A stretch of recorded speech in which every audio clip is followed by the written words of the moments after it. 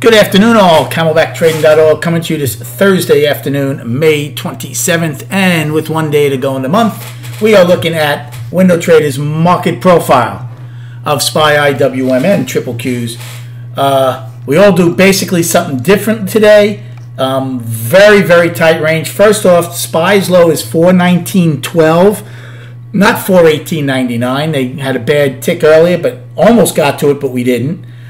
Buyers showed absolutely no ability to go fill those single prints from the 10th. We have a weak high against that day's high. Sellers show zero ability to get yesterday's wide POC.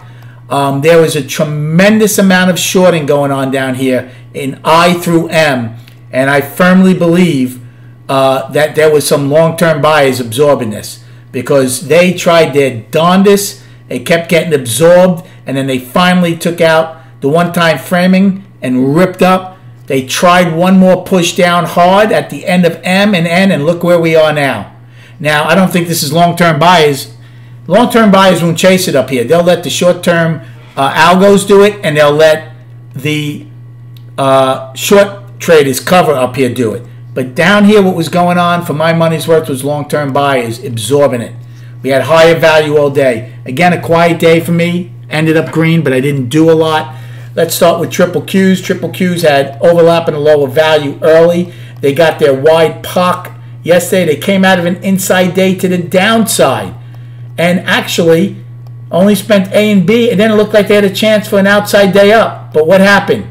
They came down later in the day after being eight wide and traded basically in and out of yesterday's range. So weird day in triple Qs. Russell, the big winner of the day gapped higher like we did. We filled our gap. They held their gap all day. They go out with a price probe. They get to their next big level, which was the 226 level. They have an afternoon pullback low and they're 9 wide at I's low. ES and SPY gap higher. Get up almost in a period to that daily high again, we, we got here it is, May 10th. This is incredible how we can't get it. If I can get over if I could ever get over there, here we are.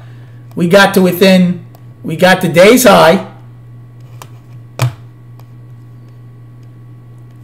But couldn't get the single prints. Now, what did I do today? Well, if I can get back to today, here we go. I didn't do anything in A. I didn't do anything. I thought there was a chance to get that upper uh, yesterday's high, get the upper distribute. Uh, we came out of the. I'm sorry. We came out of the uh, yesterday inside day up on a gap. I figured we'd go to the previous month's high, get into those single prints, and see what we get out of it. Well, that turned out to be uh, didn't happen. Just didn't happen. We got up there, so I never took the short. So my first trade was in B. but I didn't do it when B broke. I did it basically against. Um, I'm trying to think if I did it when I broke. It was when I broke. When we broke A's low, I thought we'd get the gap. I took 421 puts, came back in, got back to the opening. I said I'm out. I took a loss on that trade. I was like, if the market's that strong, we shouldn't one time frame down right away. So when we did, I thought we would at least fill the gap. Okay, didn't happen. C period, I took a long. um, because I thought we'd stop the one-time framing down. I innovated. I took the long before B. Uh, C took out B's high. The 419 calls. Took it off at A. We popped A's high. I wasn't expecting much. I thought we'd at least get this into the singles. Didn't get that. Took it off. So what I lost in B, I made back in A. I was even on the day. Then an E period. I took a short. Um, because we were one-time framing down, However, I didn't take it when we filled the singles. I did it against the opening, and then once we took out D's, I, I took it off. The best trade that I didn't do today, two of them, should have taken the break real quick maybe, but the best one was when I we filled single prints, got nothing. For, I'm not filled the uh, gap, got nothing for it, and weren't going to have single prints should have been long. That would have been the best trade. Instead, it rallied up. I took the short against the open in the one-time framing. It got above D, took it off for a loss. And then the only other trade I did was an I. Started a small long, at the time at value low. Flushed, I bought 40 more and it went right back up. I made decent money on that.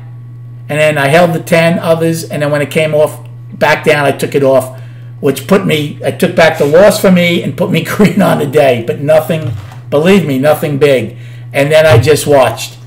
I was fascinated by what was going on in KLM. I kept telling the room, I said, be careful if you're short because that's all this is. And if we stop the one time framing down, they're going to get hurt. And finally, late, and I mean late in M, they did that, ripped up. They ripped it down, and now look where we're trading. Look where we're trading after hours. All this is, folks. So take this with a grain of salt, what's happening here. Because all this was for the last two and a half hours was shorts pushing below ease low, pushing, pushing. But they couldn't even get to this wide POC. And then finally, like for the last 12 years, taken out to the woodshed and shot. That's all this is, my friends, shorts covering. I said to the room, if we don't take, if M period doesn't take out J or K's high, well then the shorts will be happy. And then tomorrow we'll have to see if we open above it, they'll run for cover. If we open below it, they'll be okay. Well, that all went out the window because M and now N are absolutely just ripping these shorts apart.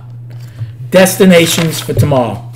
Well, I used F's high as an afternoon rally high. 420.43, first destination. Then today's high, 420.72. Those unbelievable, stubborn single prints, 420.73 get filled at 421.03 from the 10th. And then we don't have anything to 422.74 weekly high. Amazing. Which is going to be a monthly high. Oh, no. We'll get to that in the charts. For the downside, we don't have anything to today's low. Now, ES ended 9 wide. I only ended 8 wide. So 419.12 will be my first destination on the downside. Then 418.79, 10 wide from yesterday. 418.44, the afternoon pullback low from yesterday. And should have the other daily lows. So now let's go to the chart. And I'll recap everything tomorrow after the close. All three of these for the end of the month and the week. I'll just do SPY today. So the monthly. Last month's high was 420.72. We took that out this month. We're still below it. Right now, 422.82 is our all-time high. 422.74 is a weekly high. One time framing up, seven months, incredibly healthy. Weekly, balance. Inside week up, but we're in balance. Until we take out the all-time high and get acceptance above it, we're just in balance, or unless we take out these two weekly lows. So yes, an inside week up is positive, but we're still in balance. And then the daily, we're one time framing up now, six days. So, right, we came, we went balance.